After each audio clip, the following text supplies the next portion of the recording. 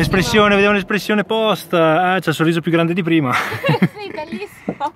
Adesso è una bellissima domenica.